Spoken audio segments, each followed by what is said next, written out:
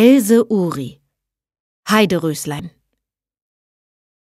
Mitten in der blühenden Heide, die sich meilenweit erstreckt, stand eine alte, halb zerfallene Hütte. Dort hauste ein armer Torfarbeiter mit seinem Weibe.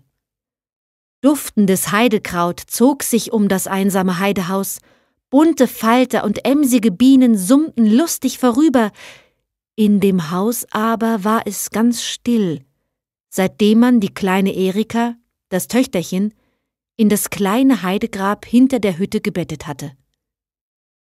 Jeden Abend lag die arme Mutter schluchzend an dem schmalen Kinderhügel, auf dem die Heideröslein lustig wucherten und weinte heiße Tränen um den verlorenen Liebling.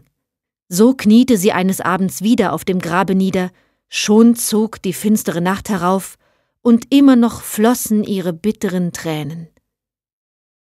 Da sah sie plötzlich dicht vor sich ein bläuliches Licht auftauchen, ganz dicht flammte es neben ihr empor, und jetzt, husch, husch, schwirrte es hinter den nächsten Baum. Schnell erhob sich die Frau und lief hinter dem zuckenden Flämmchen her. Jetzt flackerte es hier, jetzt blitzte es dort, und nun, nun war es plötzlich ganz verschwunden. Doch nein, dort drüben am Sumpf tanzte es glitzernd und lockend auf und nieder, die Frau lief so flink sie nur konnte, das war ein Irrlicht, ein Glückslicht. Wer es greift und festhält, so geht die Heidesage, der kann sich wünschen, was nur sein Herz begehrt, Wem es aber misslingt, den foppt das blitzende Irrlicht und lockt ihn hinein in das schwarze Heidemoor, in dem er elendiglich sterben muss. Schon stand die Frau auf dem feuchten Torfboden am Sumpf, da plötzlich war das Irrlicht dicht neben ihr, beherzt griff sie zu, einen winzigen kleinen Geist im leuchtenden bläulichen Röckchen und flammenden Strahlenhütchen hielt sie fest in der Hand. Ängstlich sah der kleine Wicht zu der großen Frau empor. Gib mich frei, bat er mit kläglicher Stimme, es soll dein Schaden nicht sein. Ich bin der mächtige Heidegeist, Irwisch genannt. Wenn du mir meine Freiheit zurückgibst, magst du dir wünschen, was du willst. Ich werde es dir erfüllen. Ein froher Schimmer huschte über die verhärmten Züge der Frau. Alles? fragte sie atemlos vor Freude. Alles, wisperte der kleine Heidegeist, sprich. Nun dann, sagte die Frau, so schaffe mir ein Töchterlein, so zart und hold, wie meine kleine Erika es gewesen. Irwisch nickte dreimal gar possierlich mit dem Kopfe und flüsterte Wenn im nächsten Jahre wieder die Heideröslein auf dem Grabe deines Kindes blühen, dann gehe am siebenten Tage des siebenten Monats in der siebenten Stunde an den Hügel. Zähle die roten Heideröslein, die siebente gräbst du vorsichtig aus und stellst sie sieben Tage in einen Krug Wasser, dann wird dein Wunsch in Erfüllung gehen. Da dankte die Frau glückselig dem Heidegeist, öffnete ihre Hand und fort war Irwisch. Drüben über dem schwärzlichen Moor tanzte er bläulich glitzernd auf und nieder. Die Frau aber ging fröhlich heim zu ihrem Manne. Der Winter verging, der Sommer zog ins Land, und eifrig zählte die Frau die Monate und Tage. Am siebenten Tage des siebenten Monats in der siebenten Stunde trat sie hinaus an das Grab der kleinen Erika, auf dem die Heideröslein herrlich blühten. Herzklopfend ergriff sie die siebte Blüte, das war ein zartes Rosenknöspchen. Vorsichtig grub sie es aus und stellte es daheim in frisches Wasser. Jeden Morgen lief sie zuerst zu ihrem Heideröslein, das aber stand unverändert in dem Wasserkrug am Fenster. Aber als sie am siebenten Morgen wieder nachschaute, da hatte sich die Rosenknospe herrlich entfaltet, in dem Blütenkelch aber auf den rosenroten Blumenblättern hockte ein kleines, liebliches Mädchen, das jauchzte laut vor Vergnügen. Da setzte die Mutter jubelnd das reizende, winzige Geschöpfchen auf ihre Handfläche, herzte und küsste es und nannte das kleine Mädchen Heideröslein. Mit dem kleinen Heideröslein war wieder Freude und Frohsinn in das stille Heidehaus gezogen, sie war das ganze Glück der Eltern. Ihre Wangen blühten mit den Heideröslein draußen im Walde um die Wette. Sie sang und jubilierte heller als die emporsteigende Lerche. Sie war emsiger und fleißiger vom frühen Morgen bis zum späten Abend als die summende Biene. Und die glückliche Mutter dankte insgeheim dem mächtigen Heidegeist jeden Tag aufs Neue für ihr Heideröslein. Aber zierlich und klein blieb das Mägdelein, zart und duftig wie eine kleine Blumenelfe, als sie zehn Jahre alt war, reichte sie kaum bis zu dem weißgescheuerten Holztisch. Wie liebte Heideröslein die weite, einsame Heide. Mit jeder Arbeit lief sie hinaus, setzte sich in das schwellende, bräunliche Moos und verrichtete ihr Tagewerk. Wenn die Glocke fern aus dem Dorf von dem roten Kirchturm den Feierabend einläutete, wenn die Abendsuppe verzehrt war, dann lief Heideröslein weit, weit hinein in die dämmerige Heide warf sich in das wogende rötliche Heidekraut und sog in langen, tiefen Zügen den würzigen Blumenduft ein. Das war ihr schönstes Vergnügen. Stundenlang konnte sie feiertags so zwischen den schlanken Heideblüten liegen, in die durchsichtige blaue Luft starren und dem Rauschen des Windes und dem Summen der Bienen lauschen. Als Heideröslein zwölf Jahre alt geworden, ruhte sie an ihrem Geburtstage wieder auf ihrem Lieblingslager zwischen den im Abendwinde nickenden Erikablüten. Die Dämmerung senkte sich mit ihren grauen Flügeln über die Heide, dunkel wurde es, immer dunkler, immer noch lag Heideröslein verträumt auf ihrem Blütenlager.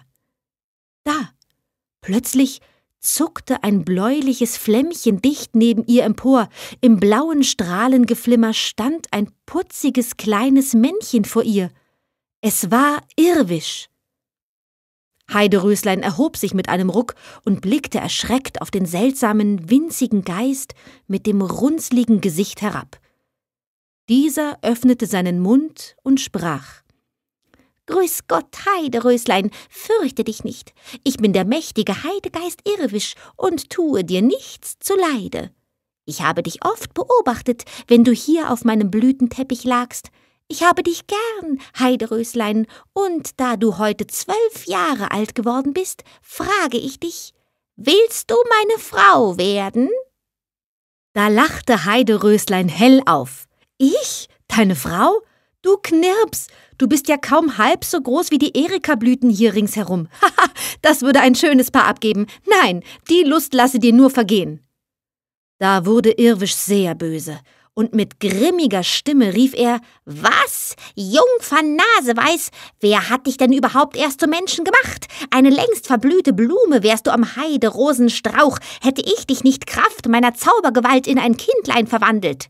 Nun wohl, so werde denn zur Strafe ein Irrlicht, wie ich es bin. Auf dem schwärzlichen Heidemoor sollst du tanzen, die Menschen sollst du locken und foppen, unstet und rastlos sollst du sein. Dies sei die Strafe für deinen Hochmut. Da fühlte Heideröslein plötzlich, wie bläulich flimmernde Strahlen aus ihren Blondhaaren und Blauaugen sprangen, ihr rosenrotes Kleidchen wurde glitzernd blau, ihre Arme wurden zu zuckenden Flämmchen und die Beine sprangen und tanzten unaufhörlich von selbst auf und nieder. Der Boden verschwand unter ihren Füßen, als blitzendes Irrlicht schwebte Heideröslein über den großen Sumpf. Trauer und Jammer kehrte in das jetzt wieder vereinsamte Heidehaus ein. Still und wortkarg ging der Vater früh zur Arbeit, die Mutter weinte Tag und Nacht um ihr verlorenes Heideröslein. Traurig ging sie in die weite Heide hinaus, um ihr verschwundenes Kind zu suchen. Hast du nicht das Heideröslein gesehen? fragte sie den leise vorüberstreichenden Abendwind. Dort drüben am Sumpf, dort über dem Moor, flüsterte der Abendwind. Da eilte die Mutter an den schwarzen Sumpf. Grauer Nebel stieg aus dem feuchten Morast empor, gespenstisch schwebte er über das Heidemoor. Habt ihr nicht mein Kind gesehen? fragte die arme Mutter die sich zusammenballenden Nebelgestalten. Die tauchten mit lose fließenden Gewändern auf und nieder und raunten ihr zu, Siehst du die bläulichen Irrlichter dort am Sumpf? Das eine, das ist dein Kind, dein Heideröslein. Irwisch hat sie verzaubert, dort drüben muss sie mit ihm im Mondenschein tanzen. Lauf, eile und fange das Irrlicht. Da lief die Mutter am Moor entlang auf die beiden Irrlichter zu. Sie griff nach dem einen von beiden. Es war das Falsche. Irwisch, der kleine Wicht, wand sich wieder ängstlich zwischen ihren derben Fingern. Wo hast du mein Kind? rief die unglückliche Mutter. Nicht eher erhältst du deine Freiheit wieder, als bis du mir verrätst, wie ich mein Heideröslein erlösen kann. Und fester packte sie den Heidegeist. Der krümmte sich gar kläglich, aber es half ihm nichts, die Frau ließ nicht los. Da musste er wohl oder übel ihren Wunsch erfüllen. Er sprach In den langen Sommernächten fange die schimmernden, weißen Sommerfäden, die in den Lüften dahinschweben, webe sie zu einem zarten, lichten Gewande. Aber am siebenten Tage des siebenten Monats von heute an gerechnet, muss deine Arbeit vollendet sein, dann gehe in der siebenten Stunde hinaus in die Heide an das schwarze Heidemoor. Dort zähle die zuckenden Flämmchen der bläulichen Irrlichter, dem siebenten Irrlicht wirfst du das duftige Gewand aus gesponnenen Sommerfäden über. Dann wirst du dein Kind erlösen.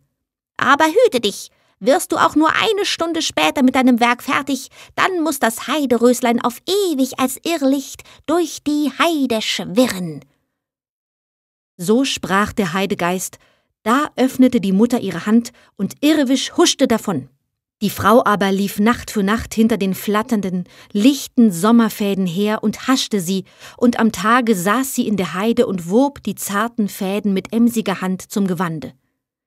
Aber die Fäden waren so fein, dass sie fortwährend rissen, immer wieder musste die Mutter ihr mühseliges Werk von neuem beginnen. So schwanden die Monate, Schon waren sechs Monate verflossen, nur noch sieben Tage blieben der fleißigen Frau zu ihrer Arbeit, und noch war nicht die Hälfte vollendet. Da weinte die arme Mutter bitterlich, und ihre Tränen flossen in das weiche Moos. Und siehe, in dem Moose regte es sich plötzlich, von allen Seiten kam es herangekrochen, große graue Spinnen, viele Tausende, die griffen die zarten Fäden mit ihren vielen Beinchen und woben auch die feinsten Fäden geschickt zusammen. Am siebenten Tage war das Gewand fast vollendet, nur der Saum fehlte noch. Als die siebente Stunde gekommen war, nahm die Mutter mit zitternder Hand das beinahe fertige Kleid und lief an das Heidemoor. Da tanzten viele bläuliche Irrlichter auf und nieder, eins, zwei, drei, vier, fünf, sechs, sieben, zählte sie und warf dem siebenten vorüberschwirrenden Irrlicht das Sommerfädenkleid über. Und siehe da, vor ihr stand plötzlich ihr liebes Heideröslein und sprang ihr jubelnd in die Arme. Glückselig zogen sie heim, und Freude und Frohsinn herrschten wieder im Heidehaus. Abends aber wenn es dunkel wird und die Nacht aufzieht, dann sieht man um Heiderösleins Füßchen bläuliche Flammen zucken. Die muss sie ewig behalten, weil der Saum des Sommerfädenkleides nicht vollendet war.